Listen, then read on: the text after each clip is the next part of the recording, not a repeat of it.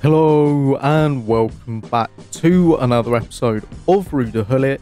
It is now episode 27 and in today's episode it is another 90 plus Brazilian, France, Netherlands icon pack, my champs, rewards and gameplay, so let's get into it. Okay, so into the gameplay for champs we go. Now this week I finished rank 6 from champs or in champs, but obviously you know that. And for me, the gameplay was sort of really hit and miss. Now, the first 10 games that I played, I won 6. The second lot of games, I only won 3. Now, what changed, I really don't know but there was just something within the gameplay that just changed massively. And there was so many games that I lost by one goal. And it would just be some stupid long shot from like 40 yards out. And for some reason, Van der Sar just cannot deal with them to save his life. There's also a lot of times where a striker would be one on one with him and he would just concede really basic shots and it's just infuriating because I know that I can hit rank 5 consistently and when you don't or when I don't I personally I don't know if I'm actually putting pressure on myself to perform because I know that I'm uploading these and that I want to try and give you actually half decent rewards. Now you'll see my champs rewards after the gameplay and I did actually get something really good but normally the higher you finish up, the better rewards you get. And it's just disappointing because my team is really good. Now, I think the one thing that did change between my first set of 10 and my last set of 10 is Premium Futties Sent Just. Now, whether he made an impact, well, a negative impact, I don't really think he did. It's just the gameplay was awful. And it sounds like an excuse, but anyone that actually plays FIFA genuinely knows that the gameplay, depending on the time of day, can either be really good or really bad. And with all that being said, I'll be back with my champs rewards very shortly.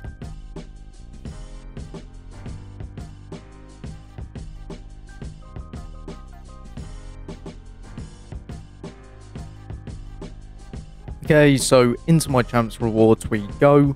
Now, as I said, finished rank 6. So my two picks were an 84 plus and a Shapeshifters or eFigs team of the season, which I got Rafael Leão, which is incredible. From my 50k pack, I got one Stuart Bergwijn, And then my 100k pack, I got Winter Wildcards Fabio. Not too bad.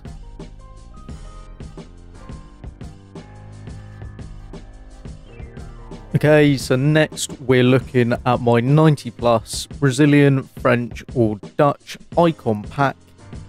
Now, last time I got FUT Birthday Desailly, who you'll see in this actually went straight back into the SBC just because I'm never going to use him. So I didn't really feel the need for keeping him.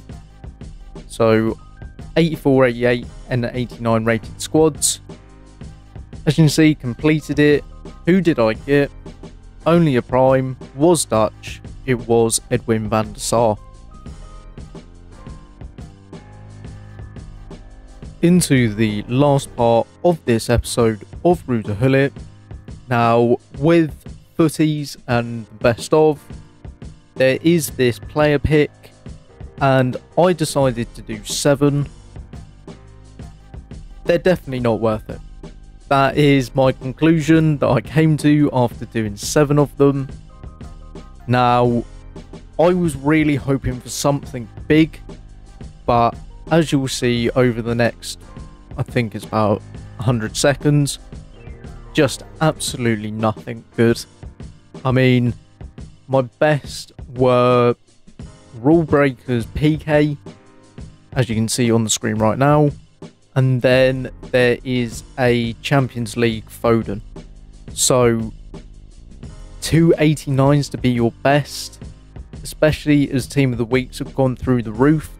Now, obviously, there is the sort of daily repeatable Team of the Week pack, but because you can only do it once a day, you can't actually rinse and repeat this SBC.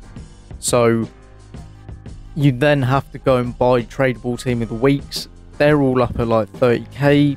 I bought three Team of the Weeks, and it just definitely isn't worth it, as I never got anything higher than an 89 rated card.